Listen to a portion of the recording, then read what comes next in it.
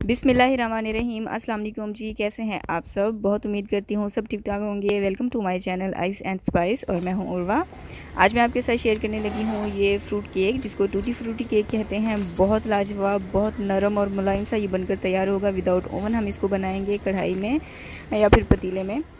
तो आप देख सकते हैं कितना लाजवाब ये बनकर तैयार होता है। जैसे ही आप इसको बना के मुँह में रखेंगी ना तो मुँह में जाते ही घुल जाएगा और अभी आपको देखने से भी अंदाज़ा हो रहा होगा कि ये कितना सॉफ्ट बनकर तैयार हुआ है। तो बढ़ते हैं रेसिपी की तरफ़, लेकिन उससे पहले चैनल को सब्सक्राइब करके साथ में जो घंटी का बटन है, उसे ज़रूर प्रेस कीजिएगा ताकि आने वाली हर न्यू वीडियो का नोटिफिकेशन आपको भी मिलता रहे।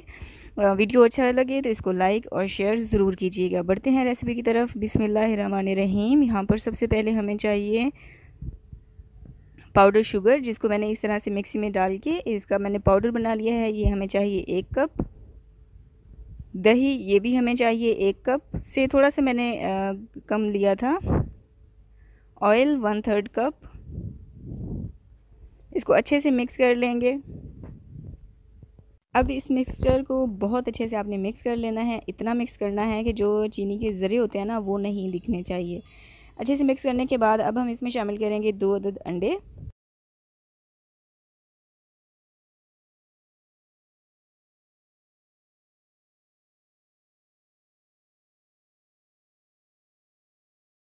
इसको, इस मिक्सचर को मिक्स करने के लिए आप इलेक्ट्रिक बीटर का भी इस्तेमाल कर सकती हैं हैंड विस्कर का भी इस्तेमाल कर सकती हैं, अगर आपके पास फॉग यानी कि कांटा हो, आप उसका भी इस्तेमाल कर सकती हैं, कोई मसला नहीं है, आपका केक परफेक्ट आपके पास बनकर तैयार हो जाएगा।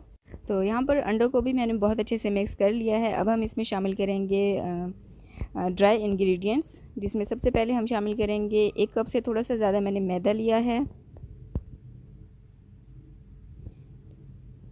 बेकिंग पाउडर, ये हमें चाहिए एक टीस्पून, यानी कि छोटा खाने का चम्मच, बेकिंग सोडा, ये आपने लेना है पिंच ऑफ़।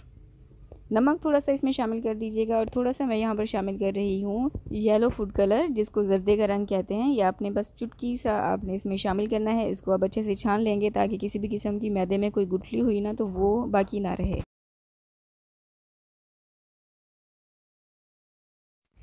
मैदा हमने छान लिया है, अब इसको बहुत अच्छे से मिक्स कर लेंगे। ओवर मिक्स नहीं करना, इतना मिक्स करना है कि इसमें किसी भी किस्म की गुठली ना रहे।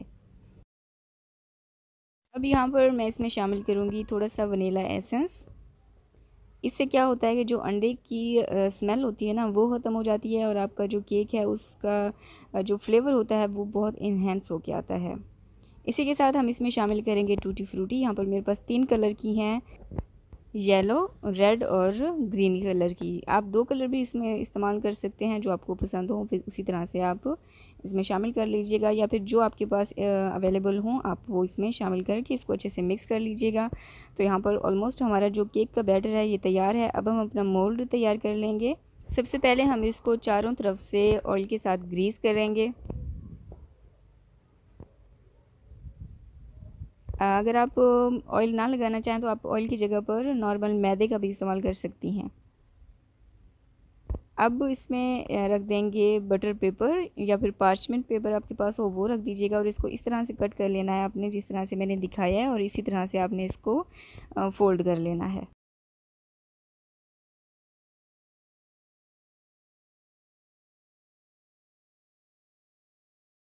तो यहाँ पर मोल्ड भी हमारा तैयार हो चुका है। अब इसमें हम शामिल कर देंगे अपना केक का बैटर अच्छा केक के बैटर को जब आप मोल्ड में डालने लगे ना तो इसको आपने बहुत अच्छे से मिक्स कर लेना है। उससे क्या होगा कि ये जो फ्रूट्स के चंक्स हैं ना, जो हमने टूटी फ्रूटी इसमें शामिल की है, वो नीचे नहीं बैठेगी, पूरे बैटर में फैली हुई होगी, तभी वो दिखने में अच्छा लगता है। अब दूसरी तरफ़ मैंने यहाँ पर चूल्हे पर कढ़ाई रख दी है। इसके बेस पर मैंने थोड़ा सा नमक डाल दिया है और कटोरी या फिर आपके पास स्टैंड हो वो रख दीजिएगा और इसको 10 एक मिनट के लिए प्री हीट होने के लिए रख दीजिए। 10 मिनट के बाद कढ़ाई आपकी बहुत अच्छे से गर्म हो चुकी होगी। अब इसमें मोल्ड रख देंगे और इसको आपने पकाना है। बिल्कुल लो फ्लेम पर आपको कम से कम भी एक से डेढ़ घंटा लग सकता है इस केक को बनाने के लिए। अगर आपको केक बगैर जला हुआ चाहिए और बिल्कुल सॉफ्ट जिस तरह से मैंने आपको स्टार्ट में दिखाया ना, उसी तरह से तो मुझे डेढ़ घंटे से भी थोड़ा सा ज़्यादा टाइम लग गया था। पेशेंसली आपने इसको बिल्कुल लो फ्लेम पे जिस तरह से हम दम रखते हैं ना, चावल चावल को दम के लिए रखते हैं, उससे भी कम आँच पे आपने इसको पकाना है डेढ़ एक घंटे में। या फिर इससे थोड़ा सा टाइम ऊपर भी हो सकता है, कम भी हो सकता है। आप बीच में एक घंटे के बाद या फिर चालीस पैंतालीस मिनट तक आप इसको चेक कर लीजिएगा। तो यहाँ पर मुझे एक डेढ़ घंटे से ज़्यादा टाइम लग गया था और देख सकते हैं, माशाल्लाह से बहुत ज़बरदस्त, बहुत लाजवाब ये केक बनकर तैयार होता है। कोई हमने यहाँ पर हैंड बीटर का इस्तेमाल नहीं किया इलेक्ट्रिक बीटर का इस्तेमाल नहीं किया और बग़ैर ओवन के हमने इसको बनाकर तैयार किया है। जब आप इसको बनाकर खाएँगे तो बिल्कुल अंदाज़ा नहीं होगा कि आपने इसको इन सारी चीज़ों के बगैर बनाकर घर पर तैयार किया है। अभी मैं आपको इसे कट करके दिखाती हूँ। जब केक को कट किया जाए ना तो उसी से अंदाज़ा हो जाता है कि केक हमारा कितना सॉफ्ट है। ये देखिए, माशाल्लाह से।